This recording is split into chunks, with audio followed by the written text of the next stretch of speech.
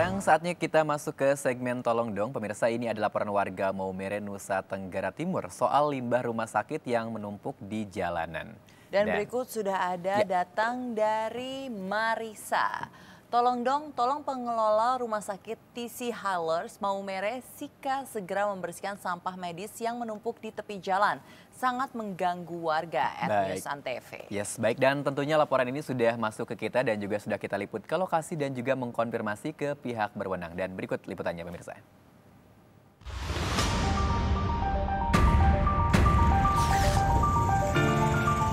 Beginilah pemandangan tumpukan sampah yang membukit di pinggir jalan Rumah Sakit Umum TC Healers Maumere, Kabupaten Sika, Nusa Tenggara Timur. Pada gundukan sampah yang membukit ini, terlihat sejumlah sampah medis berupa selang infus, sarung tangan medis, dan juga dos obat-obatan. Tercium bau busuknya itu kan, obat. Yang kakak mereka ketahui sampah-sampah ini dari mana nih? Dari rumah sakit. Dari kamar maya, kami kasih pembuangan dari limbah-limbah ini, ruangan.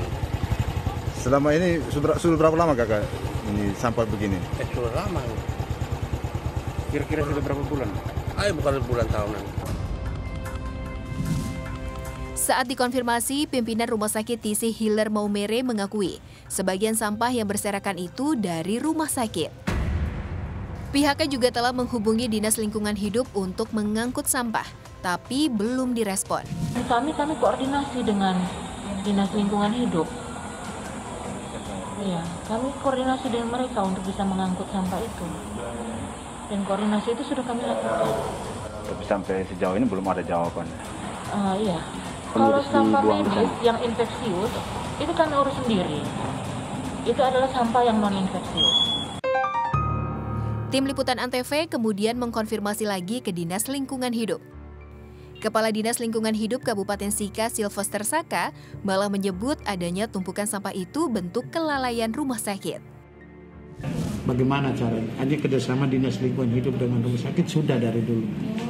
Cuma mungkin di rumah sakit itu mereka masih atur yang lain. Tetapi sampah ini seakan-akan mereka tidak perhatikan. Dan ini menjadi sorotan kami menjadi kambing hitam. Kita temukan sampah banyak ada sampah biasa, ada juga sampah yang mengandung limbah B3. Ya mungkin sudah tumpukan terlalu banyak mereka buang, tapi mereka bungkus di dalam plastik. Dan ini kalau menurut undang-undang memang dilarang.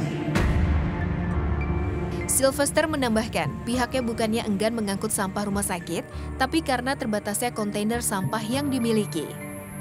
Demikian laporan Taufik Koban dari Sika, Nusa Tenggara Timur.